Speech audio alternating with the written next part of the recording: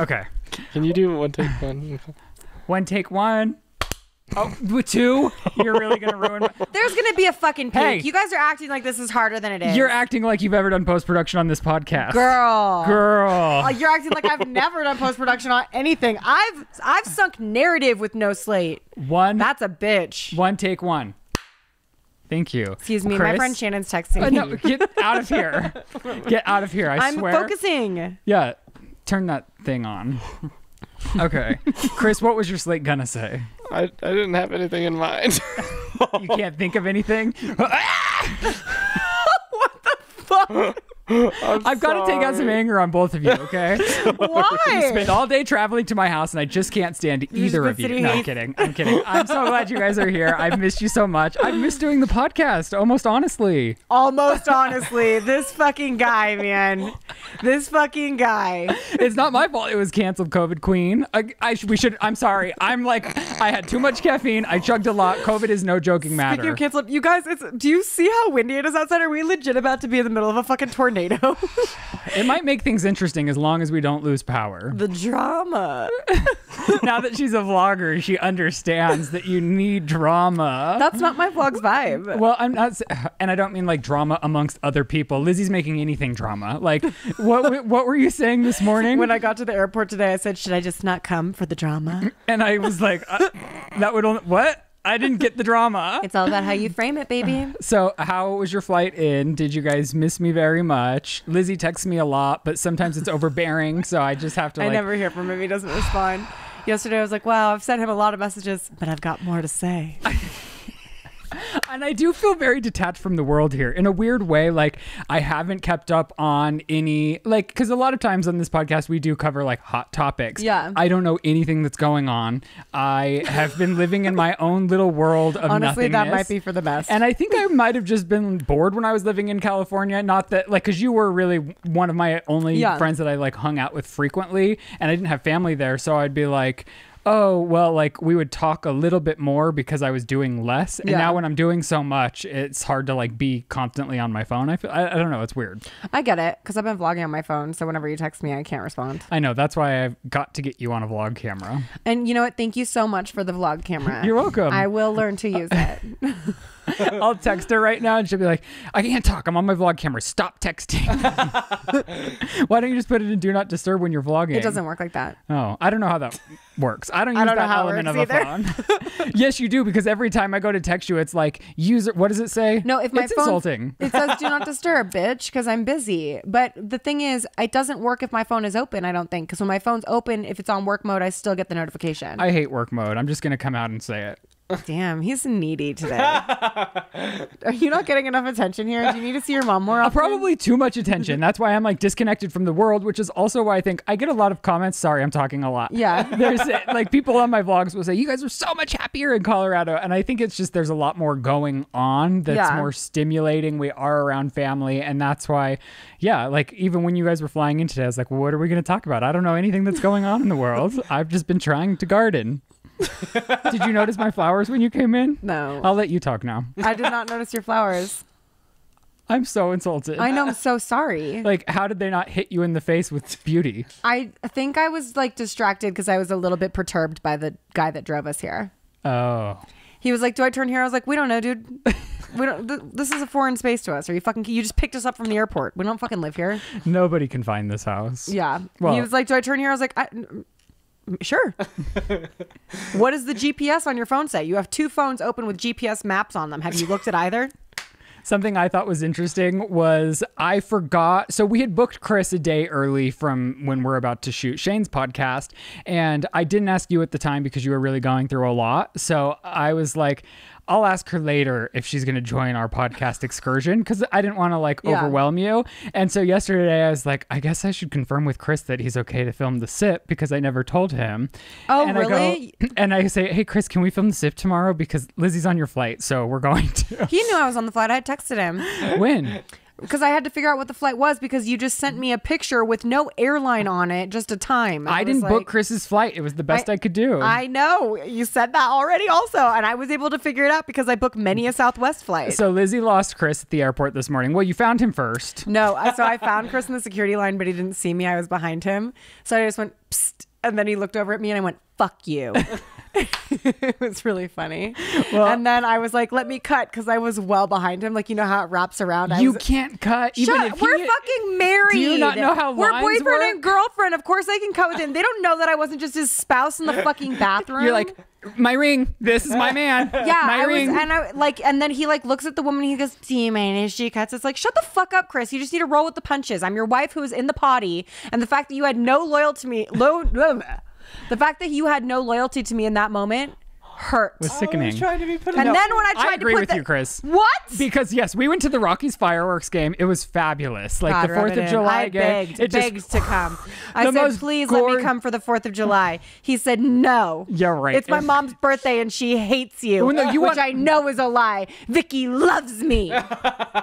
no, she she had COVID, so she wanted to no, reschedule the oh, podcast. oh, blame it on the COVID. It- well, no, you were like, Act like you're you're just not down with COVID. she said, "Can I come and we'll film a podcast on the weekend before the 4th? And I was like, "You're crazy! I'm not filming on the holiday weekend. I want to relax no, I said nothing." on the fourth. I said I'll fly in and fly out on the fourth. Because it was hella cheap. and I said I'm not doing the weekend either because it's my mom's birthday, so we're not recording podcast. I didn't say you, if you wanted to come hang out with me. I did. I begged. I said, "Can I come hang out?" She's lying. no, pull up the text, bitch. You're the victim on this podcast. I'm the victim on Shane's podcast. Whatever. um, okay, a few interesting things now that I'm looking at our text messages. Lizzie sent me that there's like ball attachments for the back Actually, of Crocs. my baby mama Haley sent me the ball attachments. Haley's all about Croc attachments, which I think is funny because I don't even think she has a pair Crocs, but she got me spurs for the back of mine, which are so funny. You don't ask for an asset. I lost my Crocs. I can't get you a picture. I'm so sorry. Uh, I'm sure if we scroll up and I bought you those Crocs. I know. I haven't told you yet, but I lost them months ago, and it's fucking devastating. That's why I've been looking at Crocs today on Prime Day. It's because Lizze's like, we should shop on Prime Day. And I was like, okay.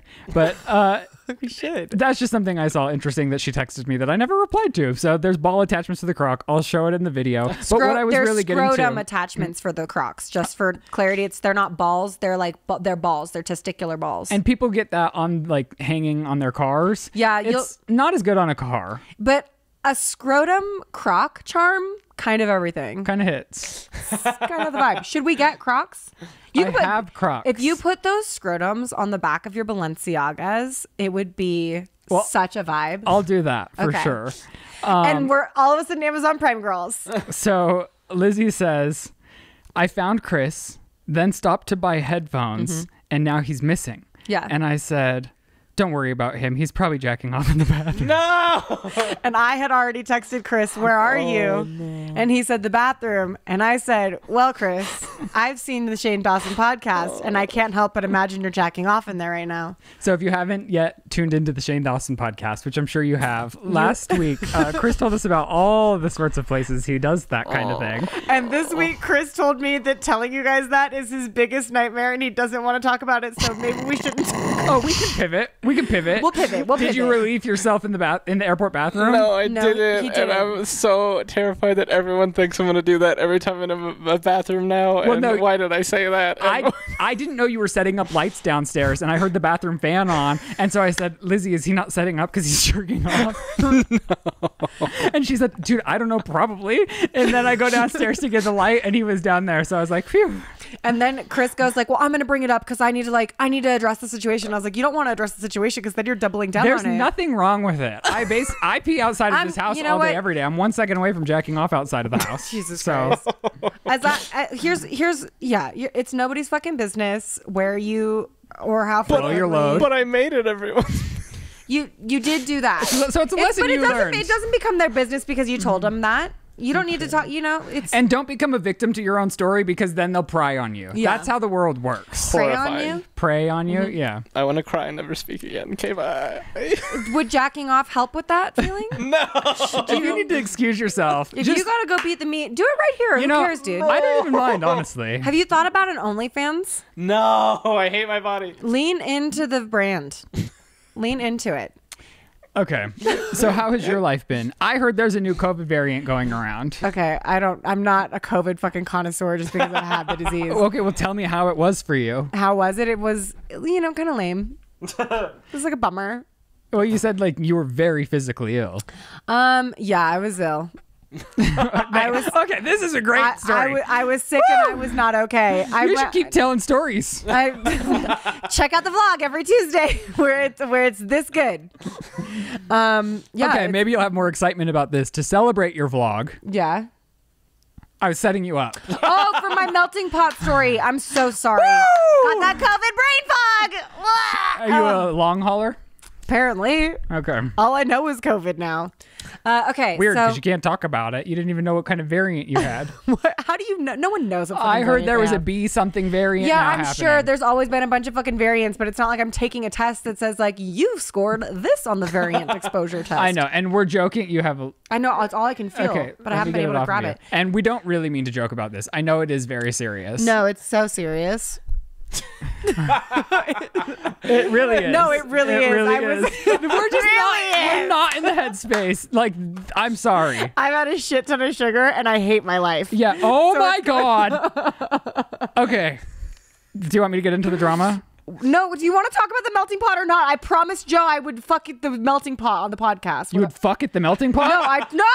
Whoa, this But is honestly, Chris that territory. bitch is so dark. I could fuck at the melting pot. No one would know. But I promised Joe after our experience that I would fuck them. I can picture Joe pick, jacking off in some weird places. Me too. Okay.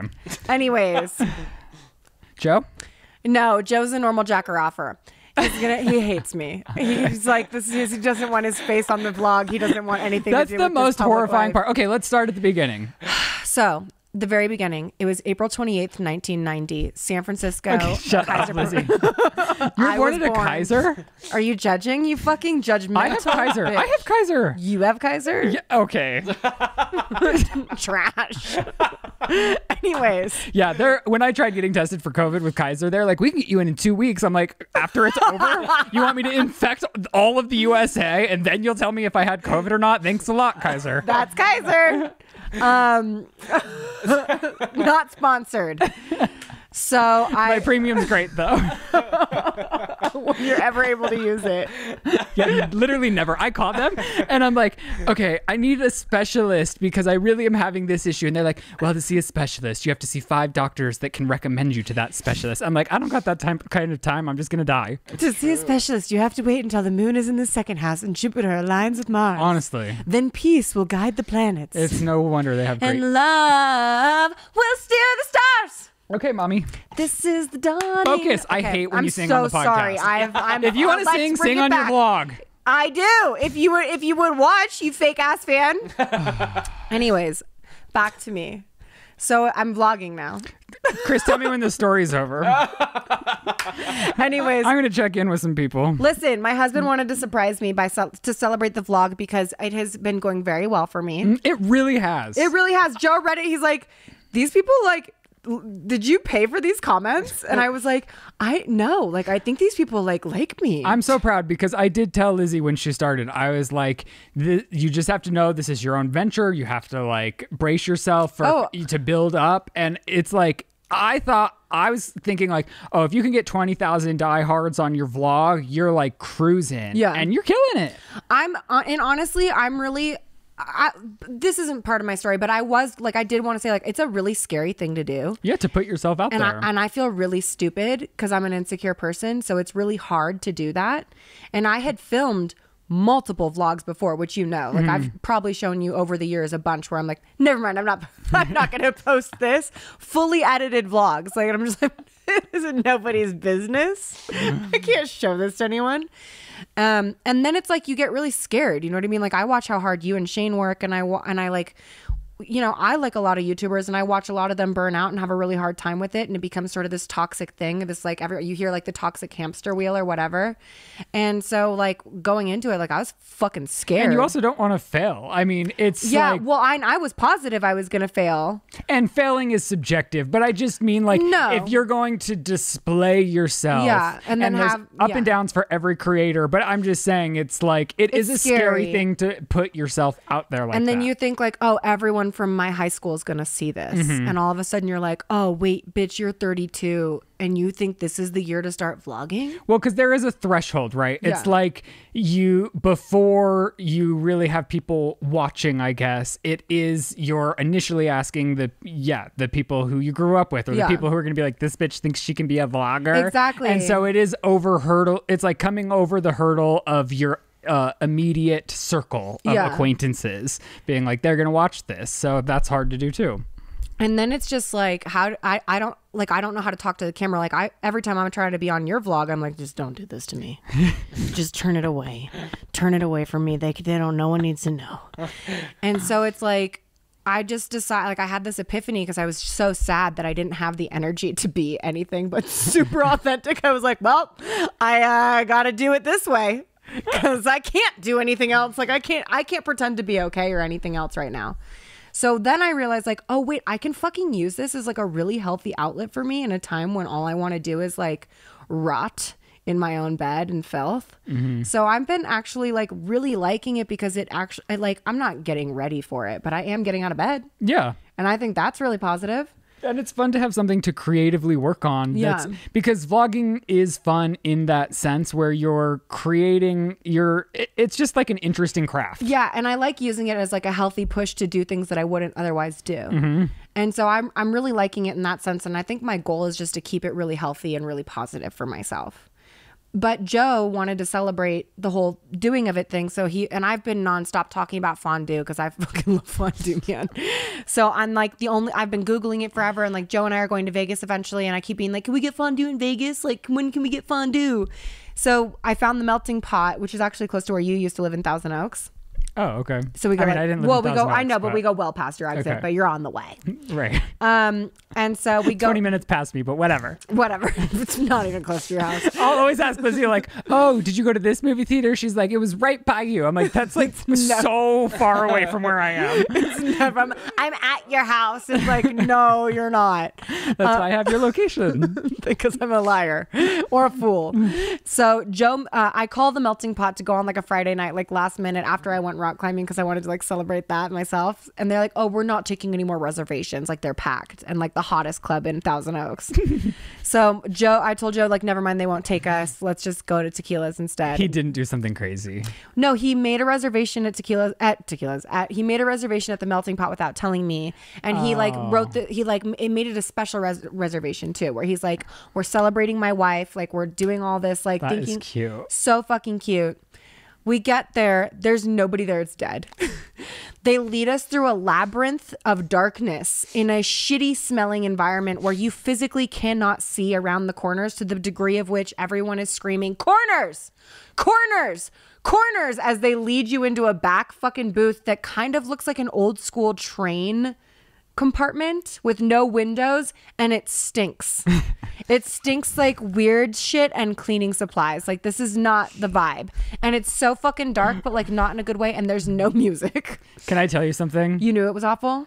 Well, no, I I have no interest in going to the melting pot. But when you do go to Vegas, there is a restaurant in pitch uh, a pitch black dining experience. Well, that's something you sign up for. yes, I know the melting pot isn't Yeah. that, but do that when you're in Vegas. It's very fun. It sounds like something I'd hate. I thought I'd I like to look at every great. bite. I like I curate every bite. But then you have to use you have to use your senses in a way that you don't typically do. So it, it actually becomes a very enjoyable experience. But back to the melting pot. I'll consider it. It's very fun. So then we get to the melting pot. We're sitting down.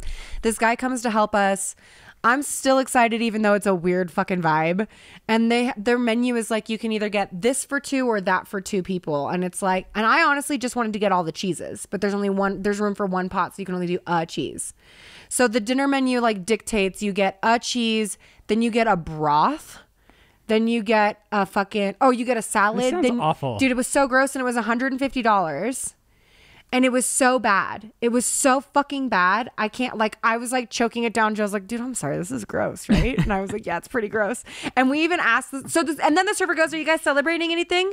And Joe goes, yeah, we are. I wrote a fucking essay on what we're celebrating, and the guy leaves, and that's how I know Joe like did all this effort because he's like, just so you know, dude, like I wrote to them, this is a big celebration. I was thinking they were gonna make a bigger deal about it. Like I thought they were gonna bring like a cake out with chocolate. This is congratulations at the very least. Know about something. You know what I mean? right.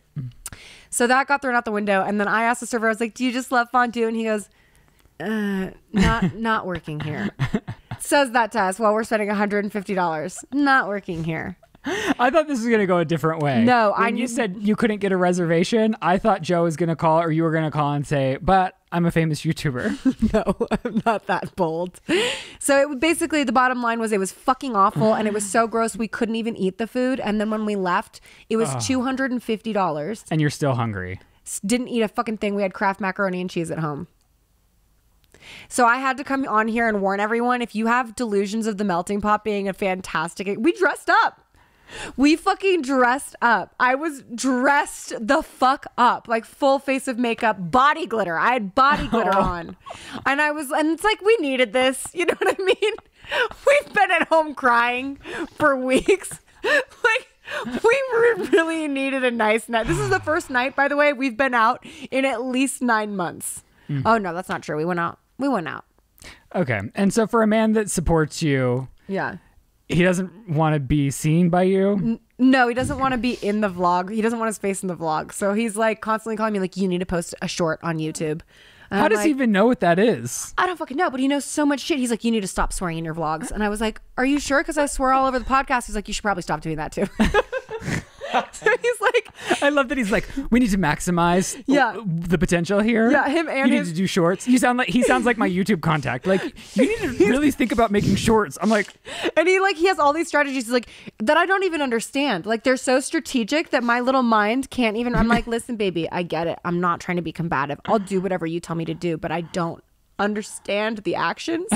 like Austin's always like, Austin, I love working with Austin because he says My the- brother. uh, his brother when he tells me things to do he goes first action second action third act and it's like literally listed actionable items because he knows he's working with people that are special uniquely.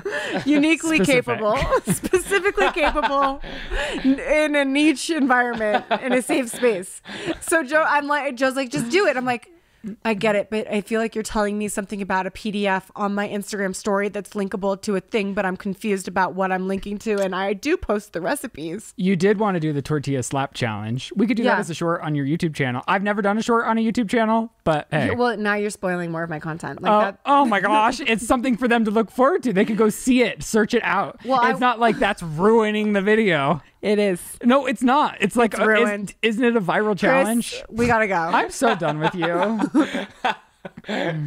okay, do you want to talk about me again? yeah, let's. There's nothing to update. Should I you on. spoil some things on you? Uh, No, because you do have some things on me. Oh, See? that I'm holding out And on. I thought you could hold the tortilla slap challenge to yourself, but apparently, Although recently we have been to we so well. mm, I don't know how much I want to give away. what? Don't say any of it. Well, there's so much of it. There's Is it two something I already know about? that- You know about all of it. Ugh, I guess we'll just wait. Tune in next week because maybe we'll tell you then. Uh, for one of the things, I'm being that. It's not even like a project. It's like I don't know. We're just ever expanding our family. You know what? That was a lot of hint to drop. Well, no, I'm talking about kids specifically, like our baby making process. Right. You're right. Uh huh. Okay. Okay. Okay. Never mind. Ah! Um. Okay. They're I- adopting me. Do I drag Shane or do I grab crum- drag Crumbl? Uh, let's do both. Quite frankly, what's Wow. up with? Yeah, just lead with lead with Crumbl, I think, and then we'll tiptoe into Shane, respectfully. Well, because we also have to honor. We'll make up Shane, for Shane with Crumbl. Well, because Shane's a good man. He's a Do you- great man. Do you know that Shane literally texted me when I dropped my vlog? He's like, "Hey, you don't have to use it, but here's a better thumbnail." He and he's like, he went through. don't- He screenshotted us. Uh, yeah, he's he's very. He's super sweet. God, I love him so much. Yeah. Could not be a more perfect partner for me, but there are still circumstances where I have to like throw my head through the window. And last night, so like he knew people were coming in. So he was doing what he thought was best. And he went to the fridge and like we had Just takeout. jacked off all over the place. that would be Chris. Okay. Settle down. Um, so we had takeout food from a couple nights ago. And you know, the stinkiest thing in the world are Brussels sprouts. Yeah. And so we had gotten Brussels sprouts and they've been in the fridge. And so he's thinking, like, oh, people are coming. We need to like discard of the old. And so I go to throw something away and he threw the Brussels sprouts in our kitchen trash can. You wish you had taken it all the way out. not do I wish. It's it, to me it's common sense. Yeah, I it's get like you it. Joe's can't mad at me because I keep throwing dog shit in the kitchen trash. Uh, you uh. and Shane deserve Listen, each other. we take our trash out all the fucking time. Well, it was we not take our trash that- out like three times a day. So if I want to throw some puppy shit in it, I'm gonna and throw by some puppy shit and in by it. we you mean you. I'm just guessing. It's me and me and James. This is to shit on Joe a little bit, even though he's a great man. Joe will fill the trash can up, leave it filled, walk away from it, and then when I come in and add to the trash, he goes, "Why didn't you take it out? Why didn't you take it out?" Well, so he left. Shane had also like there was also like a little bit of chicken, and I was like, all this stuff. I'm gonna wake up and this house is going to reek, and there's no getting rid of a smell that's been permeating for 12 hours. And so he was like, okay, I'll take it out, but he didn't take it out uh, as fast as I would have liked him. So I start huffing and puffing and taking Yeah, it out myself, and he's like, just chill. and I was like, well, you're lucky I'm only complaining about one thing. And he's like, okay, what's the other one? I was like, no, because if I tell you, then I am that is complaining about it. Where I just want to You leave already it where started it is. when you introduced I that know. there was more. Was and I was gonna, know. I was gonna stop, but I couldn't. You know, like when you want to stop, but you just can't because it's like. Yeah, me. And so I don't use the fake straws because I don't want to clean the fake straws. Right. And so he's like, "What?" And I was like, "Well, those dishes that I can't put in the dishwasher have been sitting in there for a week because I'm not willing to do it." And it's just nothing dry. And this is less Shane, more me. I hate cups and straws that aren't dishwasher friendly. It's Yeah. like, then what's the point? Yeah, it's absurd. because I don't want to do that. Yeah. I don't want to do it. No. And so then he was kind of upset at me and I said, I'm sorry, I love you. And I woke up to the dishes clean. So just saying. So, you know what, Shane, you might be reinforcing negative behavior. And next time, if I were you, I would leave the dishes in the sink. No, because that's what it typically Make him is. eat his words. And I Let him not- know that this tactic does not work for you. I'm- he needs to speak with you in, with love and kindness. he does buy me food every night. So I was thinking like maybe it is my There- job to do the little dishes, but I don't know. Who knows? There might be a trade off. There I don't might be a trade-off. Is that a Pete? What is that? I don't know. It's like a knockoff LaCroix called an AHA. And it's peach flavored? Maybe they'll sponsor me since LaCroix won't. I'd like to try that. Um, Oh, into What? the Crumbl. So something Yeah. Shane did that was nice is you two arrived today, and there's just like the biggest box of Crumbl cookies out. Yeah. And so sweet of him. Yeah. However, Christopher, What? Crumbl's number one fan. Have you seen the TikTok that's been going viral about like Crumbl and them being exposed and awful? No. Well, What it's happened? ridiculous. Well, what But happened? th- she, this girl's like so serious, and she's like, the most popular cookie brand is like whatever and growing rapidly. And she goes, but they're filled with some very controversial ingredients. Chris has come. And so I guess there's all these things that people are all upset about, and it's so ridiculous. I mean, they're Is it not ridiculous? Great. What are you talking Well, about? Well, look at it. Bleached flour, artificial colors, artificial flavors, TBHQ, a synthetic preservative that may harm the immune system. And so it. I never started having COVID until I had Crumbl cookies. Oh my gosh. I mean, So, but it, it goes into And this Chris thing is sick like as fuck. it goes like artificial flavors linked to hyperactivity in children, which require a warning label in Europe. Artificial flavors, chemical mixtures produced by. I mean, blah, of course, blah, blah, cookie's blah. going to lead to hyperactive behavior in children and adults. Um, high fructose corn, corn syrup, heavily processed sweetener linked to increased risk of weight gain, type 2 diabetes, uh, cancer, and dementia. This But- sounds like every so- food in America. And that's the thing is so I saw this going viral and I I clicked out of it immediately because I was like this is so ridiculous but then I saw a bunch of people reacting to the same one being like you know what else all those things are in and they like walk into frame with like food. everything Yeah. from the grocery store and I'm like what's your beef with like you're just trying to take down it's good- Crumbl I mean, it's it doesn't have to be Crumbl specific, but I definitely think there should be beef with all of those things. What do you mean We shouldn't be putting that shit in our bodies. I know, but nobody's ordering Crumbl thinking that they're putting something good into their bodies. Like No. you can taste how awful it is for your body, and we still continue to do so. True. But it's also like I take my Crumbls in moderation, where it's like I use their cookie cutter, Yeah. and I normally do it when we're in large groups of people, and I just take a sliver of it. See, I think I'm doing it in moderation, but I'm really just eating sliver after sliver after sliver. And then all of a like- sudden I've eaten a 12 pack by myself and I'm like, I'm shit. And that's why she started eating eating them before the podcast, and I wasn't. I'm like, I'm not food shaming you, but I'm just thinking like, can we do it after the podcast? Because I know what happens five minutes into this for her. I'm gonna eat a whole fucking lemon cookie right when we're done with this shit. That was that's like it's almost like their basic sugar. Like, oof. ugh. Okay. Here- also, you know, yellow dye number five is outlawed in a lot of states, yet I'm still fucking bathing in queso. well, that's what I'm saying. Of course, if nobody looks into Crumbl cookie ingredients because we know it's awful. Okay, with that, we have some ads and we'll be right back. Today's podcast is sponsored by Honey, the easy way to save when shopping on your iPhone or computer. We all love to save some money, and thanks to Honey, manually searching for a coupon code is a thing of the past. Honey is a free shopping tool that scours the internet for promo codes and it applies the best one it finds to your cart at checkout. Imagine you're shopping on one of your favorite sites, and when you go to checkout, the Honey button appears, and all you have to do is click Apply Coupons. You wait a few seconds as Honey searches for a coupon code that it can find for that site, and if Honey finds a working coupon, you will watch as the prices drop. Recently, I was buying new leashes and accessories for my dogs, and upon checkout, I saved $4.19 just for having Honey installed. And Honey doesn't just work on your desktop, it also works on your iPhone too. Just activate it on Safari on your phone and save on the go. If you don't already have Honey, you could be straight up missing out on savings, and by getting it, you'll be doing yourself a solid while also supporting our show. We'd never recommend something we don't use, so go get Honey for free at joinhoney.com slash sip. That's joinhoney.com slash sip. Today's podcast is sponsored by HelloFresh. I'm constantly looking forward to what I'm going to eat for dinner, but the last thing I want to do after a busy day is look through my pantry and try to put something together. And that's why I love HelloFresh. You get farm fresh, pre portioned ingredients and seasonal recipes delivered right to your doorstep. You can choose from over 55 weekly options, and right now you can select meals from the Taste of Summer series that are sure to become everyone's new favorite, like the Old Bay shrimp, the sausage broil, and the family style grilled steak lettuce wraps. Their foolproof step by step recipes mean a more joyful cooking experience and a stress free summer. Plus, HelloFresh cuts back on time spent in the kitchen with meals ready in around 30 minutes or less. Also, if you're going away this summer, you can update your delivery address and enjoy your HelloFresh at your vacation destination. With just a click, plans are flexible, so they work around your changing schedule. Go to HelloFresh.com slash the SIP16 and use code the SIP16 for up to 16 free meals and three free gifts. That's HelloFresh.com slash the SIP16 and use code the SIP16 for up to 16 free meals and three free gifts. HelloFresh, America's number one meal kit. You know, I live and thrive off of using DoorDash, and that is why I'm so thankful they are a frequent sponsor of our show. And DoorDash knows that you have back to back meetings, errands to run, and chores to take care of. So the secret to clearing your to do list is a little help from DoorDash. You can get dinner, household essentials, and everything inside of one app. With over 300,000 partners, you can support your neighborhood go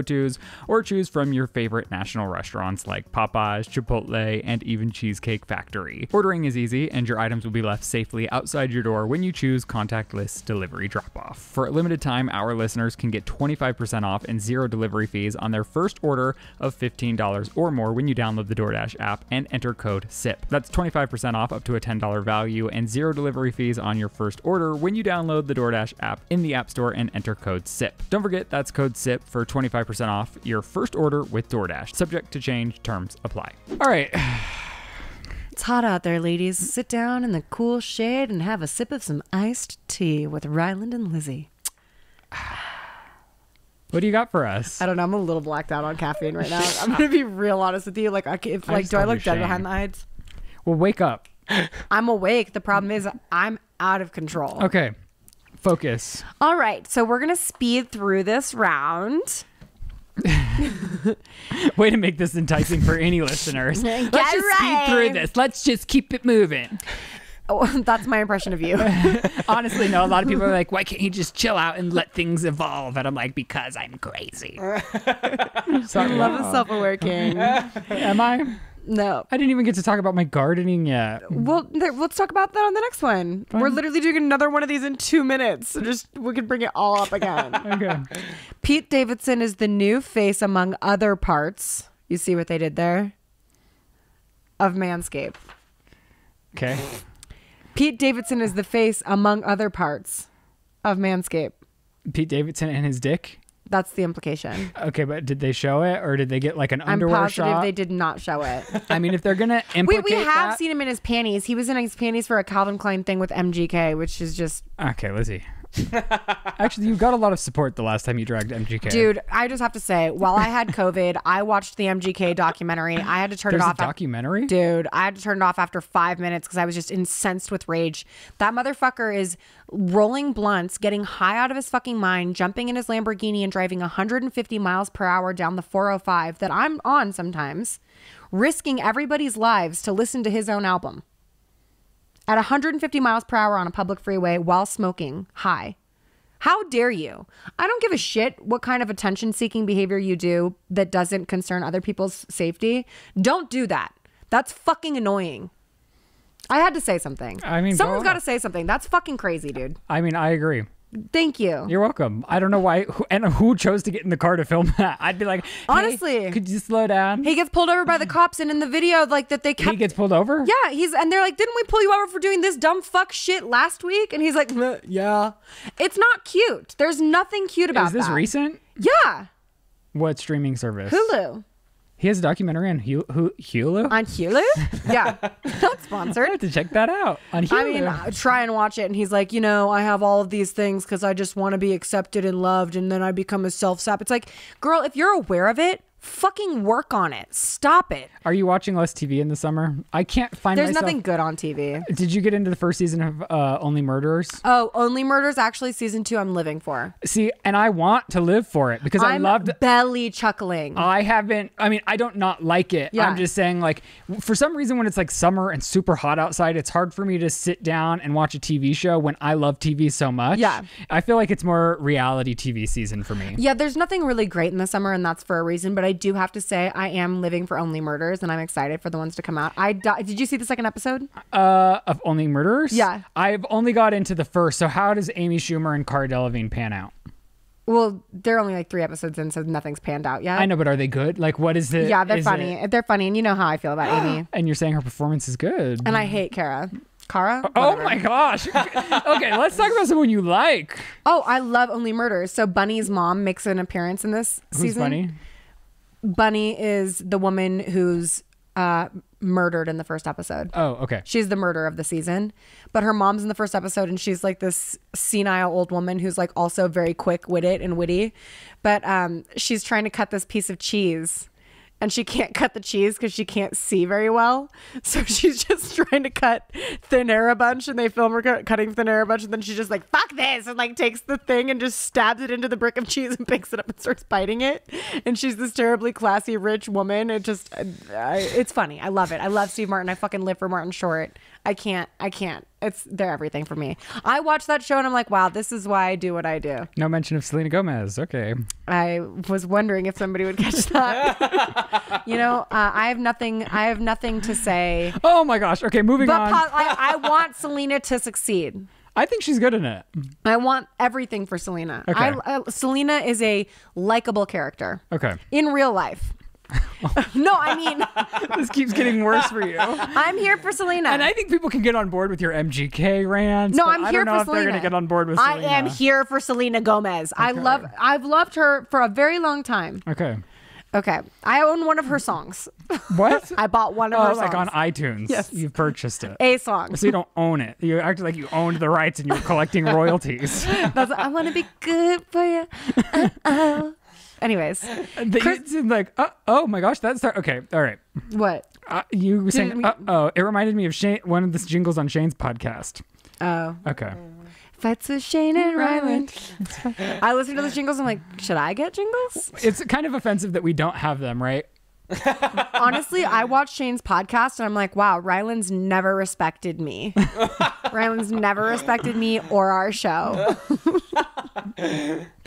We'll have to purchase. Per, whoa. Okay. We'll get some jingles. Yeah, we'll get some jingles. Okay, next on our iced tea. I- this is such a mess. Kristen Dunst and Jesse Plemons are married.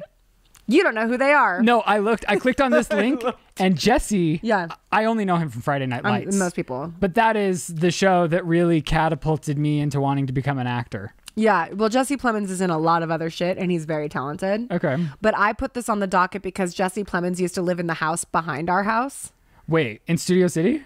In Valley Village. Okay. So he used to live in the house, not like we do have houses in our backyards, which I get is a little bit confusing, but it's not, he wasn't living in our backyard. He lived behind, like behind the fence. I don't think anyone was thinking he lived in your no, garage. people are commenting on my vlogs like, who is Lizze just feeding a man that lives in a shed in her backyard? Oh. and I am.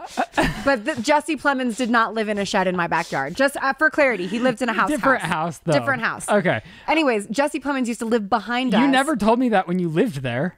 It didn't seem like something you'd give a flying fuck about. Uh, I loved Fri- Friday Night Lights and Desperate Housewives were my high school among the hills. That's a very generic experience. That's why, I'll, you know what I mean? Like that was everybody's. Okay, so then why would you not find it necessary to tell me that? I would have gone like, on a I have little to tell jog. fucking everybody then. Why like everybody you? needs to know. Now everybody knows. Now the audience knows. You know. Chris knows. Get Shane out of the fucking gym. I'll tell him too. Oh okay. So Jesse Plemons lived in the house behind mine. Now he's probably in Kirsten's house. He's definitely moved on to Kirsten's house. But anyways, my dogs got out one time, and Jesse Plemons rescued them and he brought come them knocking back. on your door? Yeah, Did he recognize Bubs from the internet? it was not Bubs. It was Benny and Jelly. Oh, Pre Bubs. okay. Congratulations, Jesse. Congratulations, Kristen. Moving right along. Florence Pug addresses. Pew! Fuck that. I don't even know who that is, and I know that it's Pew. If she wants it to be pronounced Pew, Grammar she needs to police get rid of the over here. Grammar police being wrong. Florence Pug addresses critics of her Valentino free the nipple look. Did you see it? I did see the look, and is the story that she got invited by Valentino to be at something Valentino wearing Valentino? Um, I did not look past her nipples.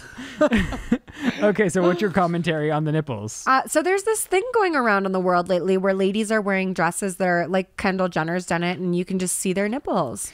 And my only, I have no issue with freeing the nipples or seeing nipples Yeah. or like be dick out. I don't care. But I found it weird that Instagram allows the nipple photos I wonder if it's because they're like covered by mesh. because I feel like if it wasn't a celebrity in designer, Mm-hmm. this photo would have gotten blocked. And that has nothing to do with my opinion on her showing her nipples. I Yeah. just think like Instagram guidelines are choosing to let a celebrity slide. I think more. I don't give a fuck about these guidelines or whatever. Honestly, I think you would though if you posted a nipple photo and yours got blurred and Florence Pugh's did not. I mean, yeah, but it's like I'm not out here trying to post my nipple photos, and I've got like great breasts. I know I walked in on them today. Oh, you saw them? Yes. I didn't know you saw them. I was Do you knocking. I was them saying, "Were you taking are?" a shit?" And you're like, "No, but my nipples are out." And I'm like, "Too late. I'm already looking at them." You didn't say anything nice about them. Well, I didn't know if you'd want me to commentate on them after I was visually looking at Of them. Of course, I want you to comment They're on great nipples. Thank you. Are there any hairs? Yeah, Okay. every woman's got hairy nipples. I know. I have hairy balls. yeah, that's different. Um, I- Is it? I mean, Yeah, they're private don't- parts of hair. yeah, but I wouldn't. Don't compare your balls to my titties. There's a huge fucking difference. Well, I'm just saying parts that aren't typically seen that have hair on them. Fair. Okay. I just, I personally, it doesn't matter. And I guess people were outraged. Well, that's the the thing that bothers me the most is that there was like a uproar on the internet of people being like, "She's got life." tiny titties." They were like, "She's got tiny titties," So they're mad about the structure of her titties. and I'm gonna say something that's not gonna help my argument that I'm just an ally, but I saw her tiny titties and like low key a bit turned on. I mean, great. You I know? I loved what she said, where she was like, "I've had my body for a very long time, and I'm not afraid of my fucking tiny boobs." And I don't have a huge liking for Florence Pug, but I do really love how she handled this. Do and you I even know felt- who she is? Of course, I know who she is. Oh, I don't.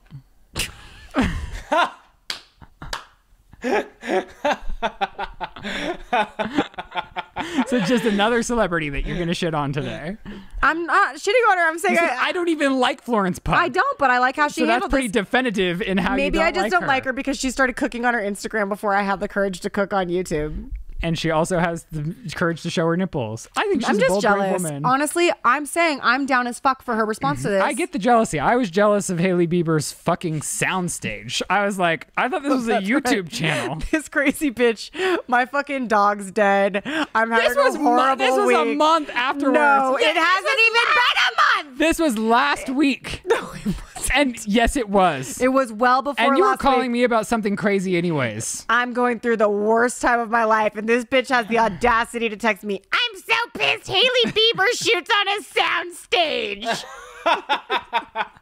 well, I just couldn't believe it because if you look at Hailey Bieber's channel, it's like it's a YouTube it looks channel. like a bathroom. It looks like a bathroom, and I think it originally once was, but it just so like she did on Refinery 29, like uh Check out my studio. tour, Yeah. and I just my mind was blown because it's a YouTube channel, and I know what YouTube channels make. Yeah. and there's like a crew or a staff of a hundred. There's the most fancy cameras, Yeah. lighting. This set had to have been a hundred k plus to build. And I know how much production costs. And so when you count all those heads, you got to multiply it by hundreds And I'm like, even if she's bulk shooting this show, like four episodes in a day, there's no way it's making what they're spending. No. So I was just like, wow, this is, and really, like, I have no beef with it. I'm No. just like, a little jealous because I'm like, you have real big fu money to just be like, look at all these people I hire for my fucking hobby, bathroom." for my hobby. this job I don't need.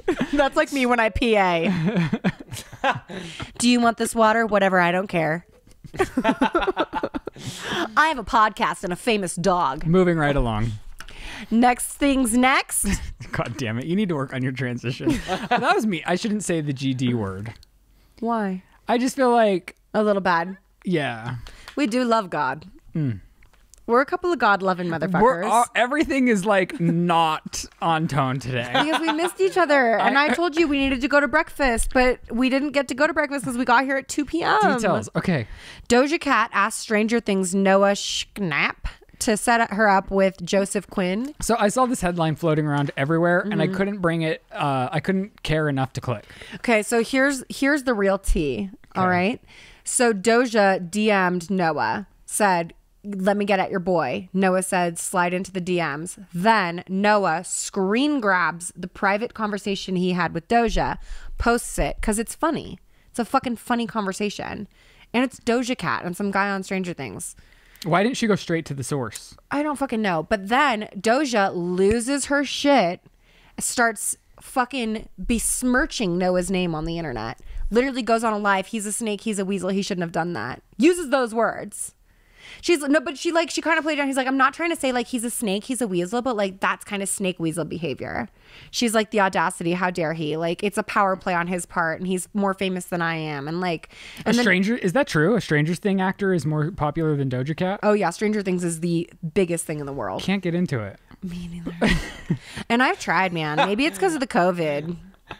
One of the side effects of COVID is you don't get what everybody else gets. You get other things. Like a tingly feeling for Florence Pug's nipples Okay. When you don't straight- even like her. in your in your heterosexual loins. Okay. So, and did he respond? What's the status? I don't think he responded, but people are like Doja, man. Like, watch your language. Aren't people always kind of like Doja? Yeah, Like, Doja's she- a fucking. That's the other thing. This bitch, she's talking about him like being out of pocket on the internet. Like, I cannot think of anyone more out of pocket on the internet than Doja Cat. She's like, Taco Bell paid me a million dollars to write a jingle, and I'm fucking mad about it. So here's my passive aggressive jingle that's actually going to be really good for Taco Bell. She Like, thought she should have got more, or it didn't go through. no, I'm I'm making up that number, but she was irritated that she had had to do branded content, and Uh-huh. so she like wrote a jingle about the Mexican pizza. It's so doesn't matter. but the point being is like I what what makes me more crazy than anything is somebody taking an, an absurd amount of money from a company and then acting put the fuck out for the seven second thing they have to put on a TikTok Mm. to earn that. You know what I mean? Yeah. It's silly. It's silly. It's silly. Anything else, or should we move on? I just thought that was crazy that she would go so gnarly in on a boy like Noah. and I, he's only 17, is what I read, right? Yeah, I mean, all of it's Well, all of it's headline. wild to get that upset publicly is a bit much. Yeah, sometimes, uh, yeah, I've learned that if you're even feeling upset, it's Yeah. best to just like put your phone away. Oh, I really want to tease you right now, but I'm not going to do it. Thank you. I appreciate it. Can I please do it? It depends on uh, what it was about. I think you know what I'm going to say. What? I'm just not trying to tray you right now. Betray me? Isn't that the typo? From the tweet heard around the world. Is it? I like blacked that out. Yeah. I feel bad about it. I'm like turning red. I'm sorry. Anyways, North's stop sign at the talent show or the fashion show. I'm so I scrambled. didn't. I see. I only saw the photo headline of that too. so Kim Kardashian takes North to, North to fashion shows all the time and always has because Okay. North like loves fashion and gore VFX makeup.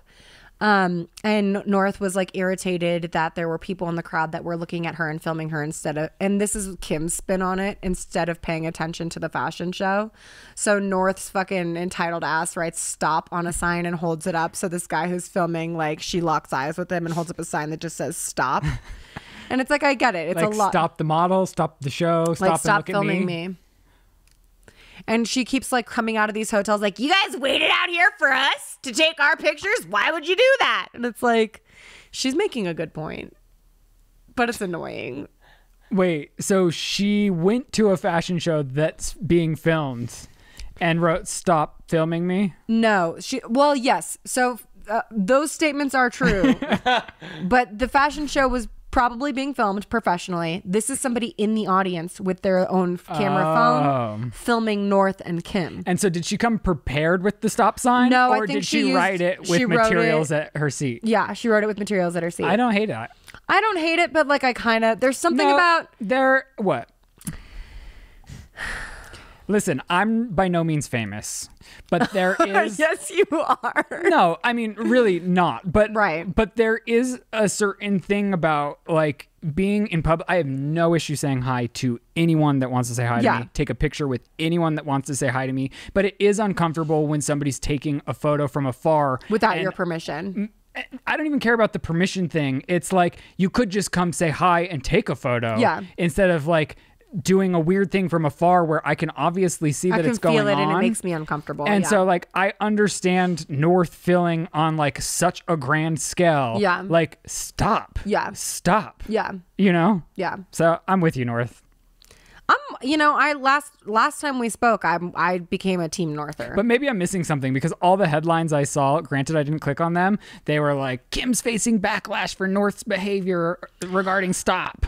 Right, but it's also like everything you just said is so valid.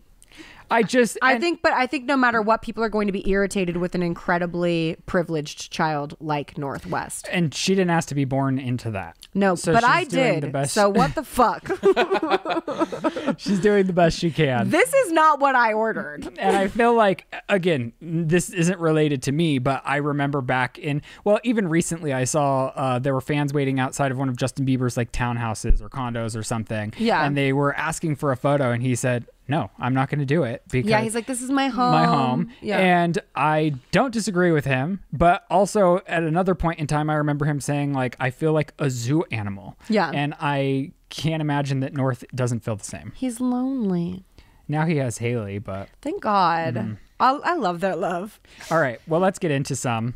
Hold on, I'm cracking my Oh. jaw. All right, I'm ready. Let's get into some Advice, though. Okay, do you want to do a ver? Do you want to do a voicemail or a one that's Do a voicemail because I, I think I need better glasses again. I think my eyes are getting more fucked up from editing. well? I could read. Can you? Okay.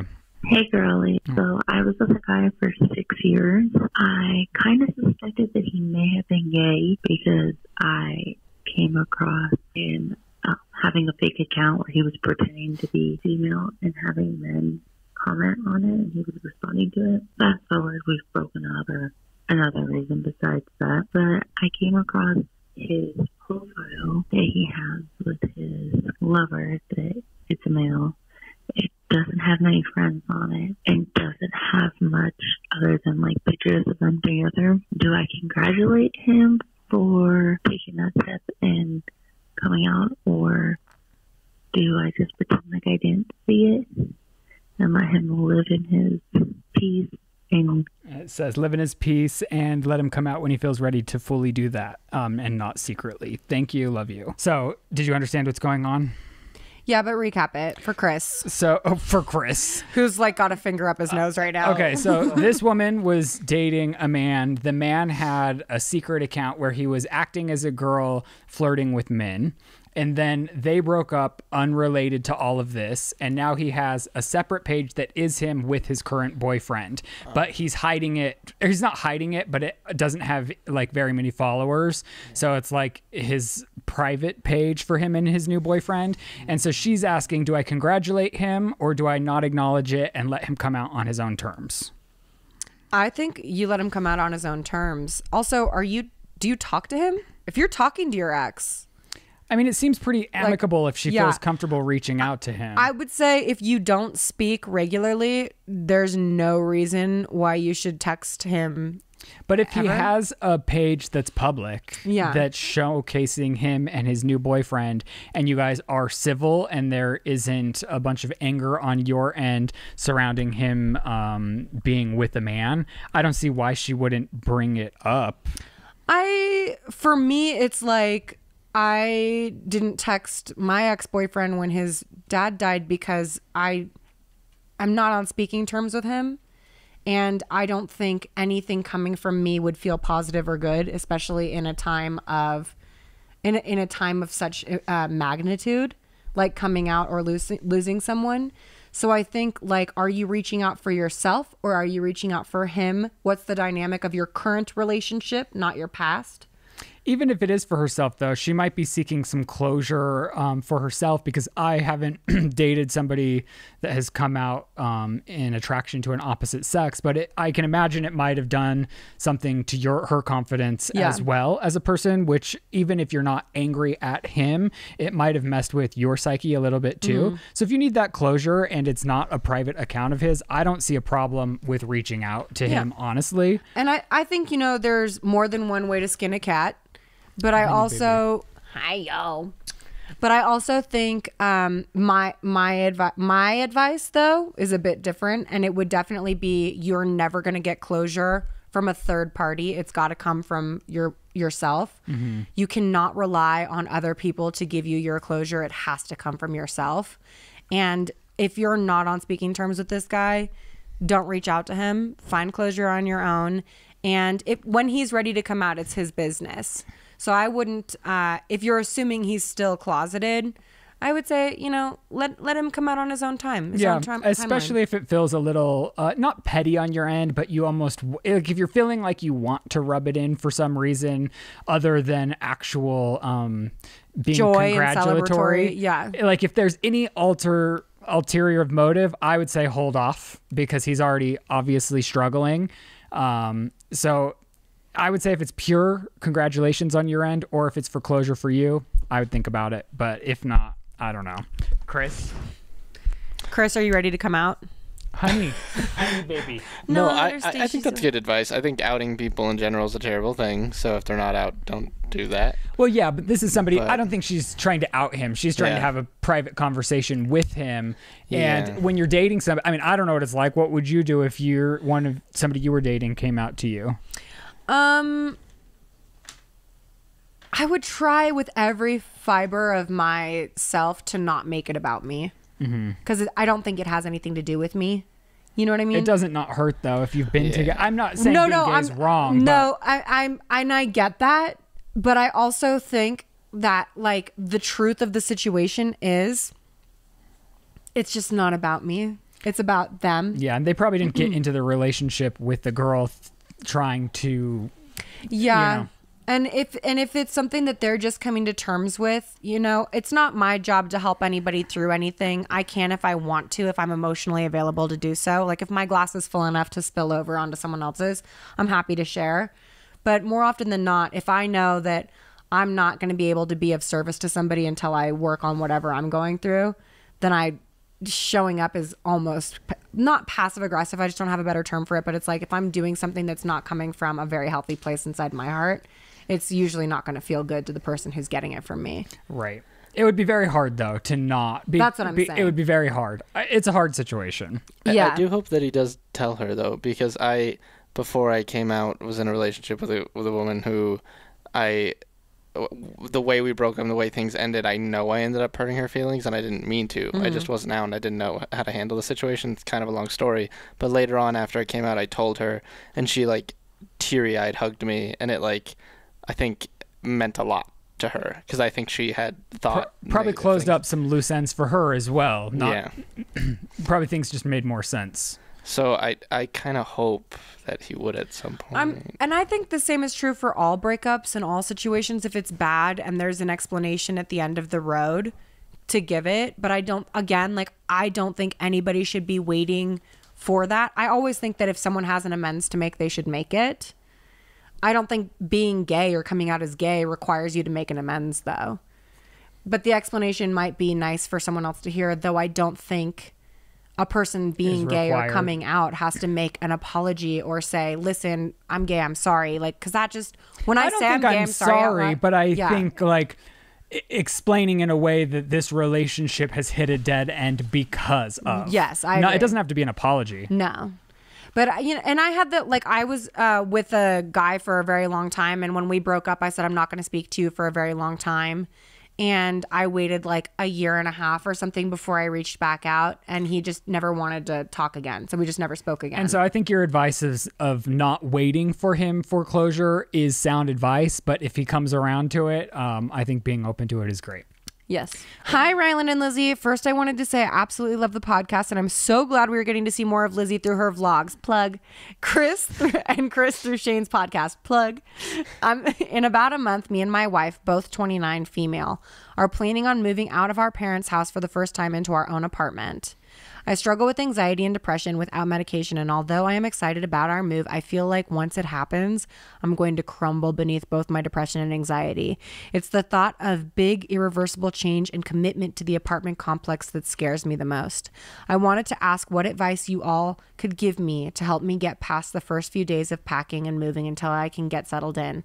I would love to hear how Shane Ryland uh, and Ryland deal with the constant back and forth to Colorado, and Lizze because of her move and how attached she felt to her last home. And would especially love to hear from Chris as he has uh, now dealt with difficult past few months. Thank you all so much for taking your time to read this. Love a Chris obsessed listener. Wow. Does she know? About what? no, Lizze. Um, listen, bitch, I regret leaving my house every day and cry about it endlessly. Your past house? Yeah. Really? That's one of the things that you're crying about? Oh my god, it's yeah, I could cry right now thinking about it. It's because like I remember sitting in my living room and thinking like, wow, this is really great, and it's all gonna end. In your previous house? Literally crying. You should not have picked this prompt. Way to go! I hope you're you- okay with your anxiety and depression. Are you not happy at your new house? no, Lizze. Hold on, we gotta don't do it. We gotta cut. wow, I didn't know that. yeah, but it's only because nothing in this life is ever gonna be good again. Lizze. Lizze. But here I'm here I'm still going. That's my point.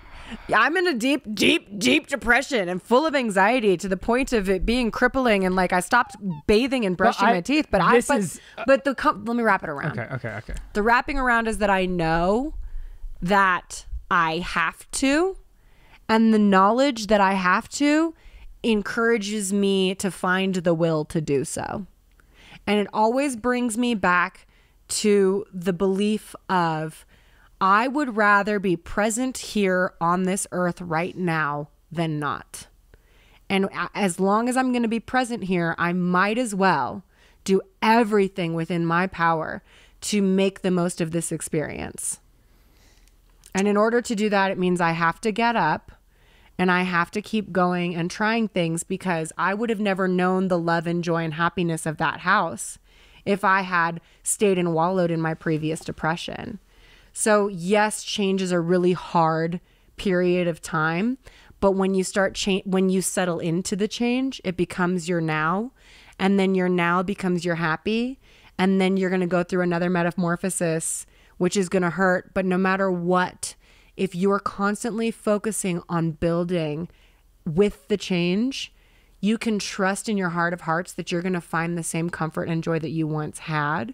It will be different. If you're dealing with loss, it's always going to be different and it's going to look different, and you're never going to m- not miss what you really miss. Mm-hmm. But you're going to have a different a different sense of fulfillment. Right.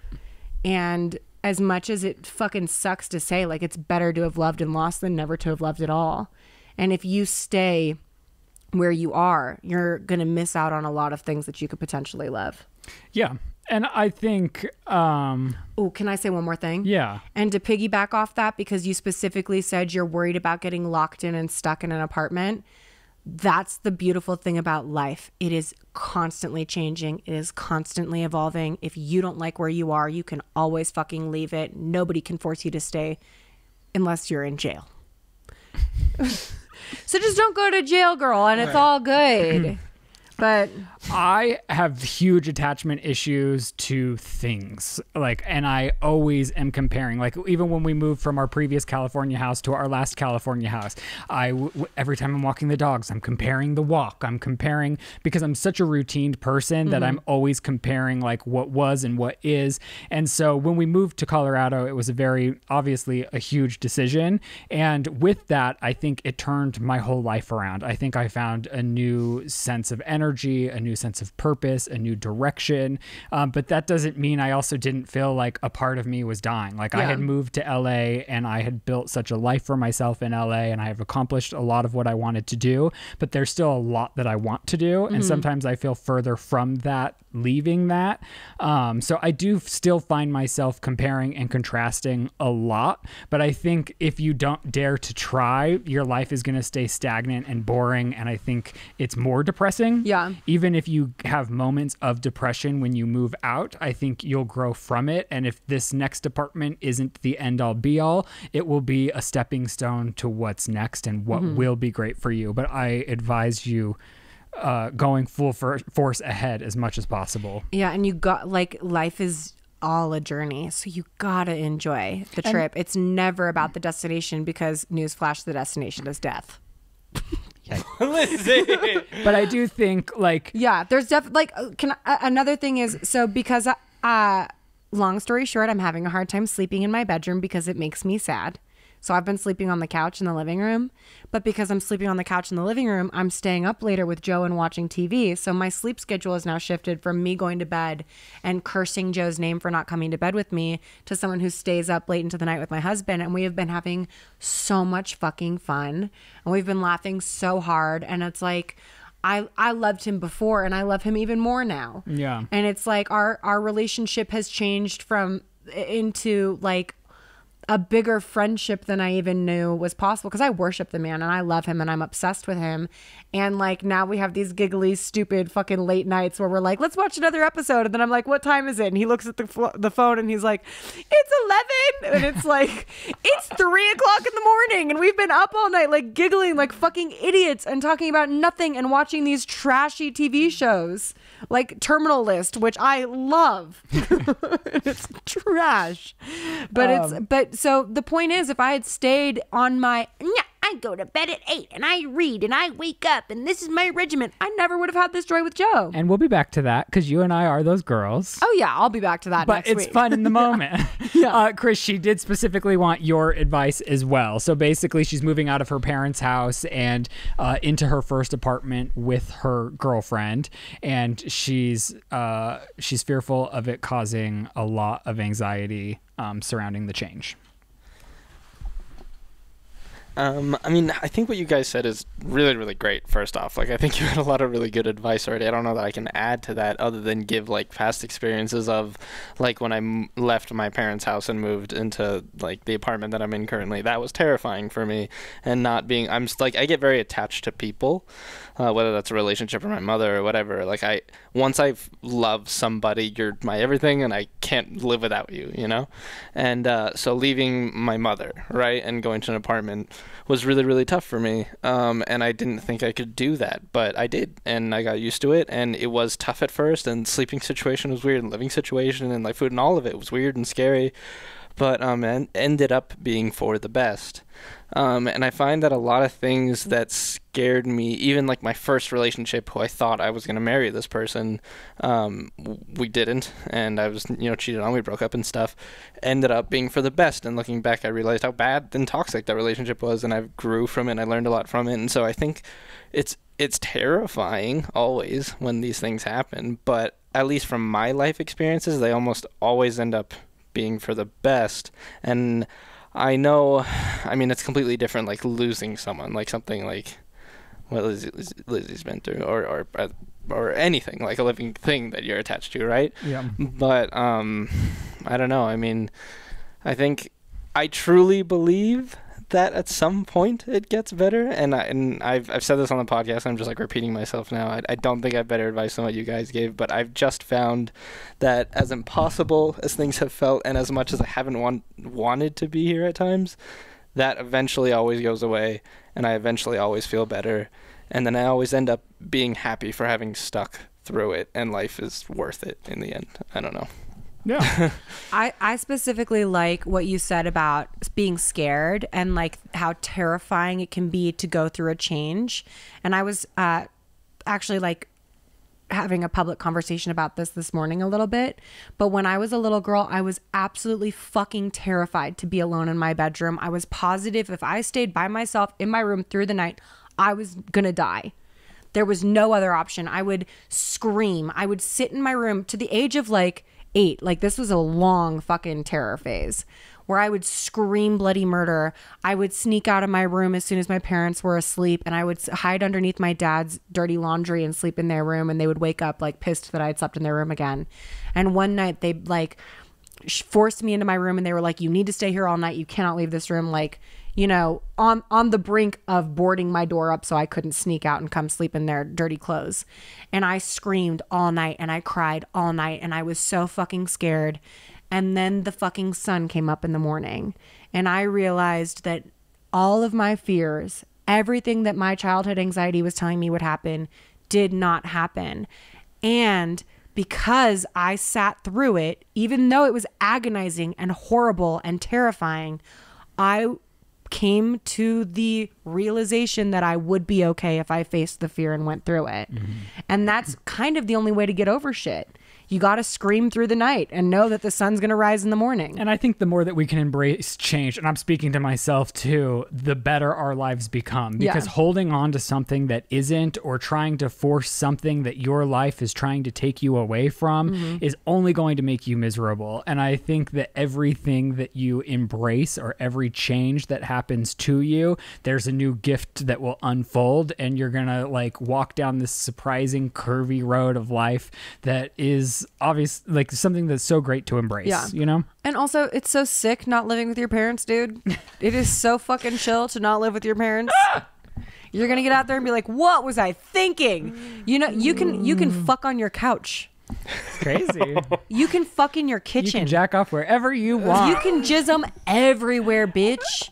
You can rub your menstrual blood down the walls. Who gives a fuck? It's your apartment. Yikes. Okay. Well, I hope we helped. Um, we have a lot more advice, but there were honestly some great submissions, but we'll get into it on next week's episode. Thank you guys so much for watching and supporting our show. Uh, obviously, subscribe to Lizze's vlog channel. Yeah, obviously. Lizze Gordon. Chris has one too. Maybe he'll make a comeback on vlogging. He started vlogging today in the fucking airport. He's like, "You're vlogging, I'm vlogging." Everyone's inspired. Everybody's vlogging. Um, uh, listen to Shane's podcast, and thank you guys so much. We'll see you next week. We love you. Goodbye.